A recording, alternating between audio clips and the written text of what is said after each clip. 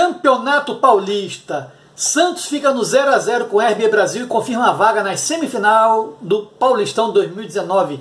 0 a 0. Ele teve a vantagem do primeiro jogo, que ganhou de 2 a 0 e agora empatou em 0 a 0, então ele passou para a próxima fase do Paulistão 2019.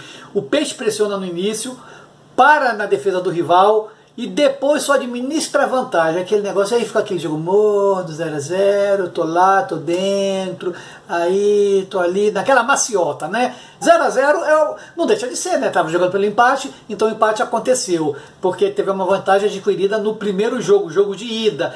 O adversário do Santos vai sair só amanhã, quando completar a rodada, que aí vai ver quem é o melhor colocado, quem é o quarto colocado, o terceiro colocado, o primeiro, o segundo, aquela salada de regulamento para a gente definir como vai ser as semifinais do Paulistão 2019.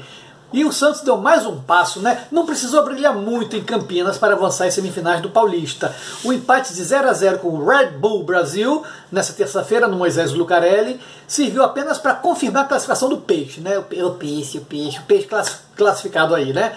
Que já estava com situação tranquila depois da vitória por 2 a 0 no primeiro jogo. A equipe de Jorge Sampaoli eliminou o melhor time da primeira fase do Paulistão.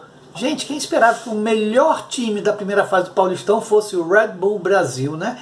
E agora ele espera, espera os jogos de quarta-feira para saber quem vai ser o seu rival, quem o Peixe vai pegar e nhac, nhac, e pegar e matar e ir para a final. Não é isso? É isso que os torcedores Santos, Santos estão esperando aí.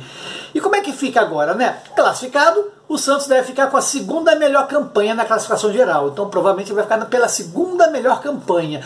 Ultrapassado apenas pelos, pelo Palmeiras, que nesse momento que eu estou fazendo o vídeo para vocês, está dando um sarrafo no Novo Horizontino de quatro piabinha. Tá lá, metendo quatro no saco do, do Novo Horizontino.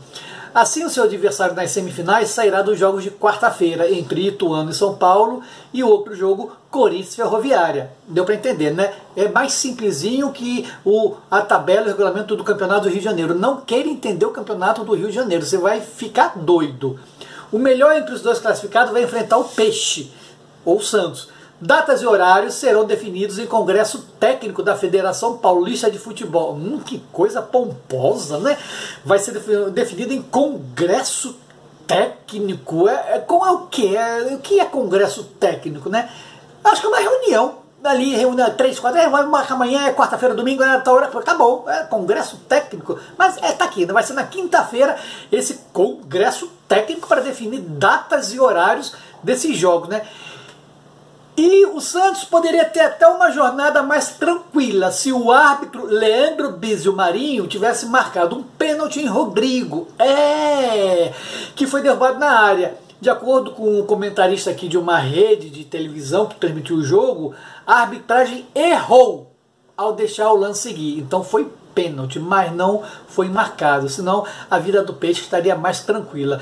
Então o melhor time da, fase da, da, da primeira fase do Paulistão, o RB, valorizou a campanha, mas ó, pinou todo o campeonato paulista. Bye bye Red Bull, né? Não foi, não ficou. Então tá aí, gente.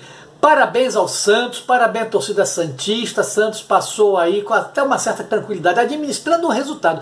Por isso que é bom o jogo de ida e volta, você fazer um bom resultado no primeiro jogo e no segundo jogo você já fica com o seu pezinho ali naquela água quente, de molho ali, só na maciota, né? Parabéns à torcida do Santos, parabéns à torcida Santista. Vila Belmiro está em festa. Vamos ver quem vai pegar agora na fase semifinal do Paulistão. Será que é Corinthians? Será que é Palmeiras? Será que é o São Paulo? Não sei. Vamos ver. Quinta-feira sai a definição.